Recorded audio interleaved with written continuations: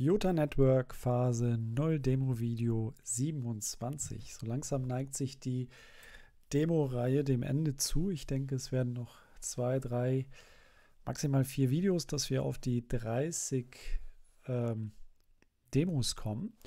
Und es geht hier um die Floating Item, um das Floating Item Network for a Better Universe, also die Fiota Network App, in der du deine ähm, Items mit anderen Leuten teilen kannst. Und das ist ein schnelles Format und die sieben Minuten starten ab jetzt. Was jetzt die letzten Videos gemacht wurde, wir sind jetzt sehr stark an der Oberfläche im Frontend ähm, und haben die Klickwege, die Navigation aufgebaut. Also zuletzt ähm, hier die drei Hauptbereiche mit der Interaktion ähm, in dem Item Inventory und was jetzt hier eben entstanden ist, ähm, ist diese Interaktionsleiste da unten. Und genau hier möchte ich heute ansetzen. Ich habe hier zum einen mein Visual Studio Code mit ein paar Dateien schon offen, habe auch die, das Frontend schon geladen und das ist jetzt hier der aktuelle Stand im View, im, im Smartphone View. Und ich scroll jetzt mal hoch und ihr seht schon, da unten kommt ähm, die entsprechende Dimension schon hoch. Ich hatte hier im CSS, äh, das kann man hier mal zusammenklappen, also an der Stelle unter Footer Demo Background hier äh, kann ich sozusagen die Farbe definieren. Ich orientiere mich jetzt mal erstmal an den hellen und was ich in dem einen Video, ich weiß nicht mehr genau, welche Nummer es war, ich verlinke es aber. Ich habe hier über GSAP, soweit ich mich richtig erinnere, schauen wir mal kurz in die Package JSON.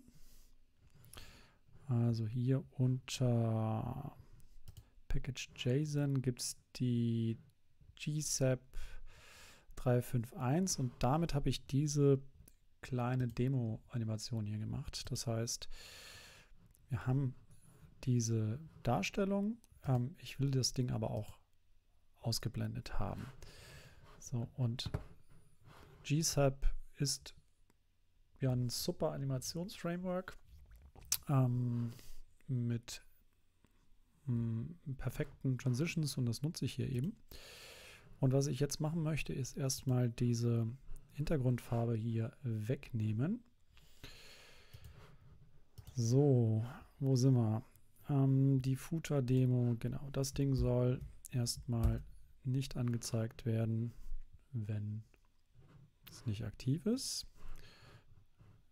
Ich reloade einmal die Seite. Genau, da unten ist jetzt nichts. So, das heißt, dieses Ding unten ist zwar da, aber man sieht es nicht. Ich glaube, ich kann klicken. Ah ja, genau. So, ihr seht, ähm, da ist jetzt die Darstellung noch nicht so perfekt. Dann näher ich mich jetzt mal dran. Und zwar der Activator, den habe ich hier schon mal äh, vorbereitet.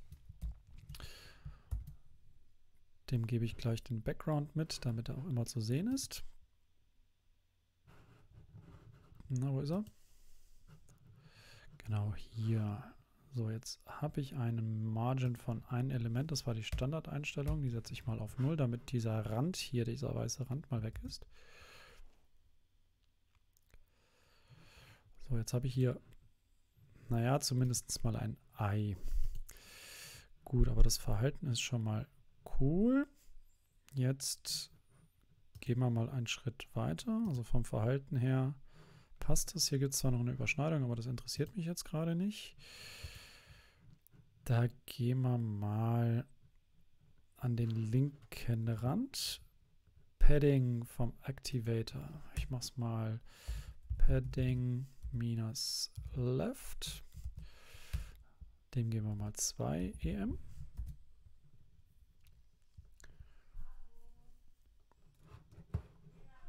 Ja, das ist schon ein bisschen breiter, aber ich sehe, die, das Logo verschwindet hier an der Stelle. Okay, also nochmal. Das Padding nehme ich hier doch wieder weg.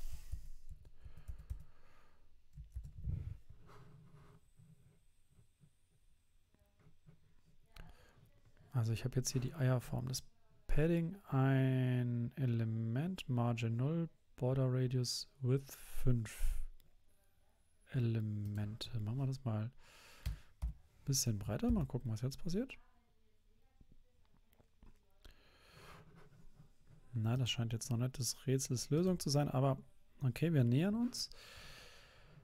Ähm, ich schnapp mir jetzt mal aus der XD-Library. Hier unten habe ich ja diese, diese Item-Darstellung und ich kann hier über einen Rechtsklick äh, SVG-Code kopieren. Das Ganze mal hier reinkloppen. Das ist der reine SVG-Quellcode und daraus mache ich jetzt den Activator.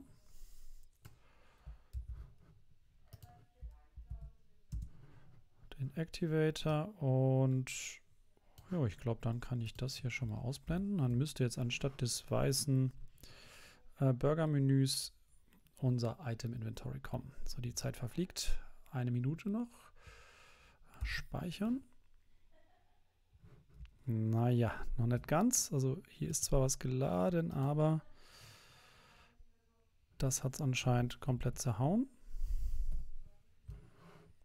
Zurücksetzen. Gut, also das SVG. Na, das hat auch innere Maße. With. Ja, dann machen wir doch mal hier ein. Puh. Ich schieße jetzt mal in den letzten 30 Sekunden. 59, 57 und das Ganze auch hier.